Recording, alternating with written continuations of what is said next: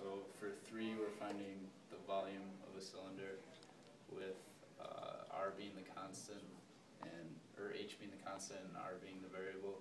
So you have the derivative of V over dt is pi r squared dH dt plus H times zero. So you're using the product rule there, and H is your constant, so you just take the derivative, and then the derivative is zero there, so pi r squared H is dH over dt.